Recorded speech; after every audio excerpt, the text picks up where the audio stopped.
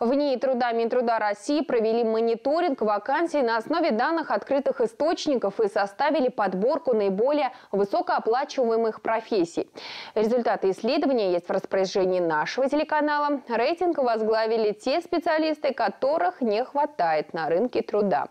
Инженерам-мехатроникам в автомобилестроении и сварщикам дуговой сварки предлагается зарплата от 100 тысяч рублей. Чуть меньше, от 95 тысяч рублей, предлагают специалистам по операциям на межбанковском рынке и бурильщикам шпуров. От 85 тысяч предлагают бизнес-аналитикам, специалистам моделирования процессов термической обработки, мастерам интеграции облачных приложений и специалистам по потребительскому кредитованию.